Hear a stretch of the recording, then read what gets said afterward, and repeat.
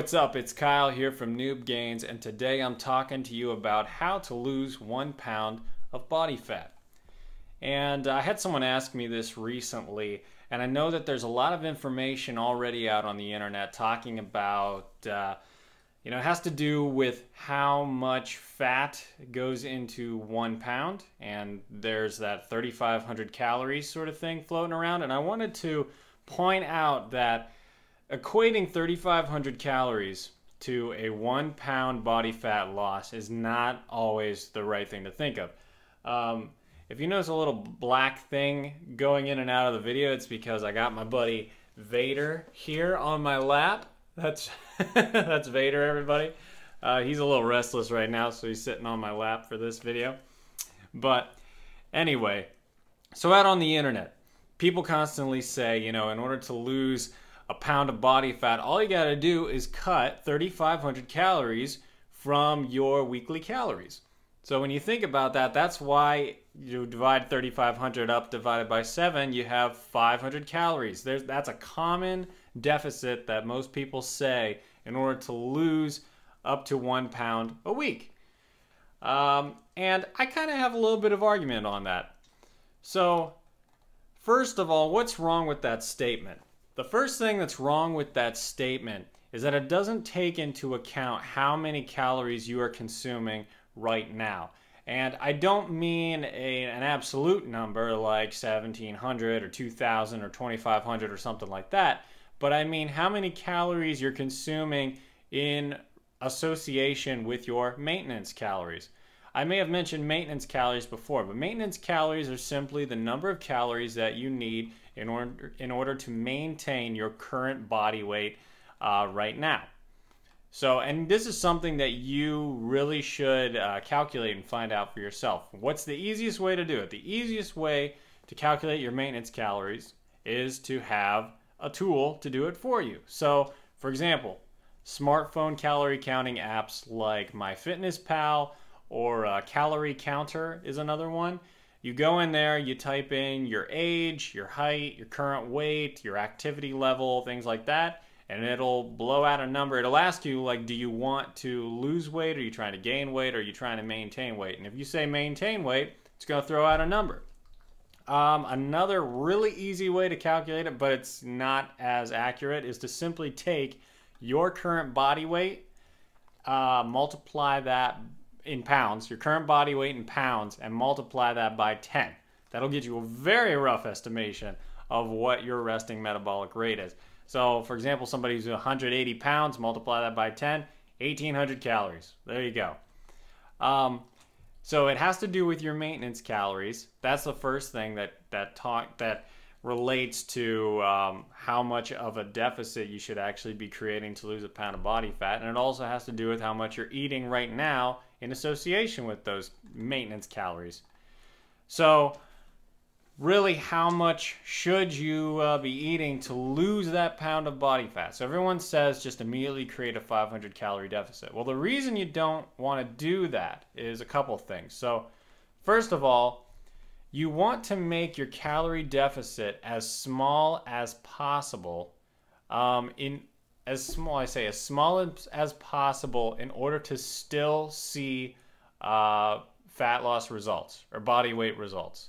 Okay, if you automatically create a deficit of 500 calories, the reason they say that is because it will almost guarantee that you're going to begin losing body weight immediately. So, unless you're in a very extreme calorie surplus, so you're eating so much every single week and increasing that amount every single week to the point that you're constantly gaining weight a 500 calorie deficit is automatically going to make you lose some weight.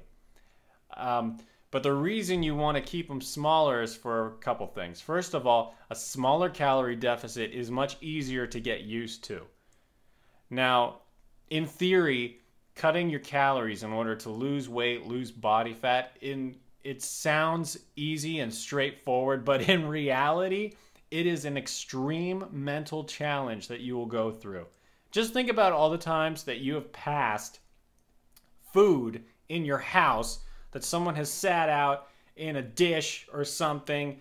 Like my wife, she loves to just keep the donuts and pie right on the counter for everyone to see. And I think every time I walk by that, I just want to take like a spoon and just carve out a little tiny chunk and just have a spoonful. Just a spoonful won't do anything to my diet. If I do that two to three times a day, it's going to add up to a full piece of pie.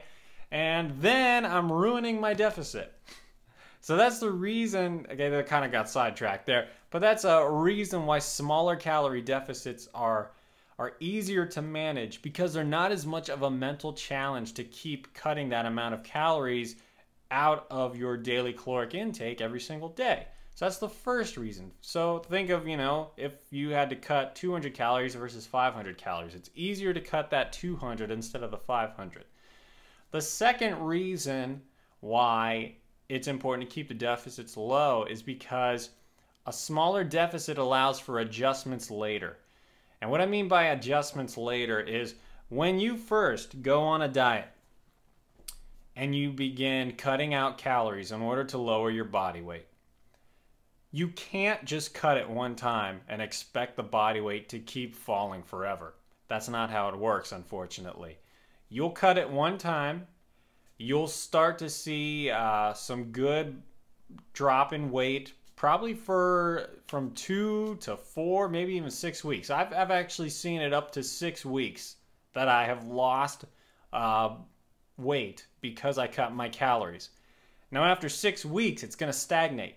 It's going to stay at the same level. And the only way to continue that is you have to cut more. Now, if you started with a 500 calorie deficit, and then the next time you think, okay, I'm going to do another 500 or another 300 or 200 or whatever it is, that's it's going to suck. It's going to suck more than if you started with like 200, then it started to stagnate after a while, and then you dropped it by like another 100 later. Then you've only dropped your total calories by like 300 calories, where in the other scenario, you're dropping it by like 700. So that's another reason why smaller deficits are better at the very beginning. Then, kind of I hinted there, but the reason you don't want to immediately jump into a 500 calorie deficit is because how much you're eating in relation to your maintenance calories, you could be right on the edge of already uh, losing weight. And what I mean by this is, what if you find out that your maintenance calories are like 1900 calories? And after you take some time and actually track what you've been eating, you find out that on average, you're eating 2,000 calories. Now, in order for you to see any weight loss, all you have to do is maybe drop by like 200 or 300 calories right there. And if you jump right into 500, then you're possibly cutting out calories that at this point in your weight loss stage is unnecessary. So you are unnecessarily removing food from your diet that you could be eating and still seeing results. That's the point I'm trying to make. That's probably the biggest point I'm trying to make as a reason for not just automatically cutting 500 calories from your daily caloric intake. Now, set aside all of that. We're talking about body weight versus body fat and how to lose that. So people say that, you know, a pound of fat is 3,500 calories. So if you start just cutting out 3,500 calories, you're going to lose body fat. But that is not true. That equates to body weight.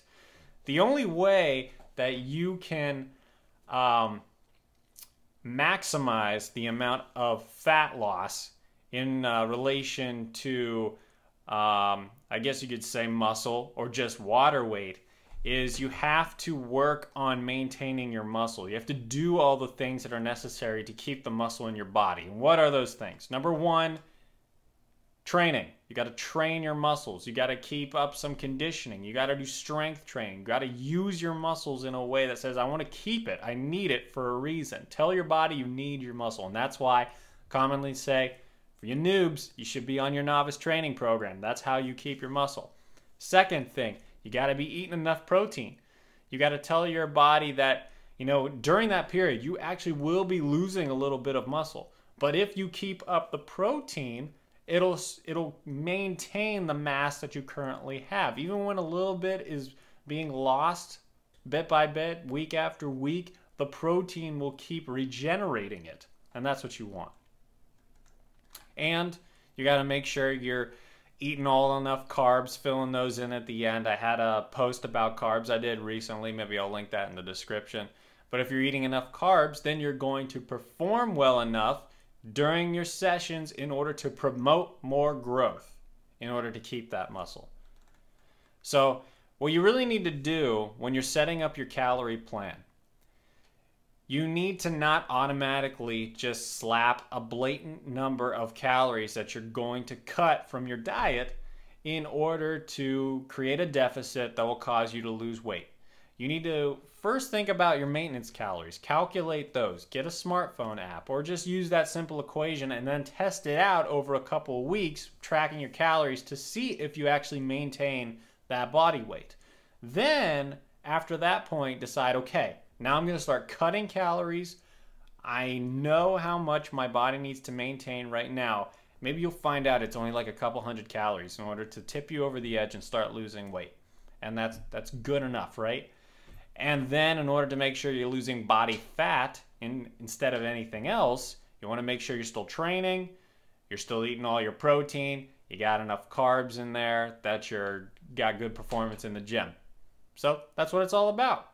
Thanks for watching this video. Thanks for listening to the podcast if that's what you're doing there. So uh, if you're watching on YouTube, hit that like button for me. Subscribe if you uh, like the information that you just saw. If you're listening to the podcast, this is hosted on SoundCloud. Uh, you can go to soundcloud.com slash noobgains to listen more. You can also go to uh, iTunes, noobgains.com slash iTunes, and leave me a review. That would also help me out. So until next time, keep making gains, noobs. Talk to you later.